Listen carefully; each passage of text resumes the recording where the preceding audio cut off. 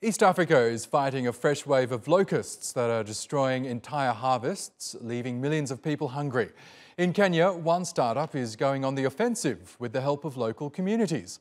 Motheo Khoaripe reports. They are Kenya's modern day hunter gatherers, but these men aren't looking for big game or picking fruit. They get up before dawn to find locusts.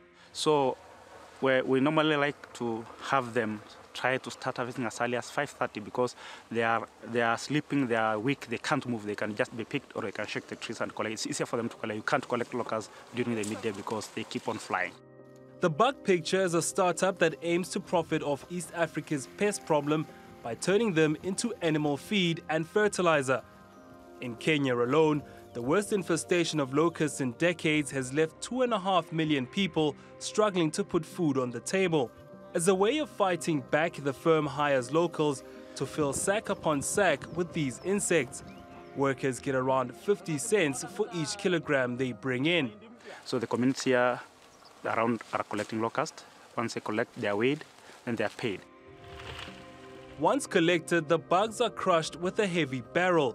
Next, the remains are dried in the sun before they milled into a high-protein powder that can be sold to farmers the formulation now starts from there, where the, the, the locust powder is being added other components to form animal feed and organic fertilizer for farms. Over a span of two weeks, the company can collect 1.3 tons of locusts, but that's barely a dent in the plague. A single swarm can cover more than a thousand square kilometers, and each square kilometer contains up to 200,000 tons of insects. Sometimes there are so many, you can't tell crops and locusts apart. Last year, trillions of locusts spread through 13,000 square kilometers of land across 10 countries.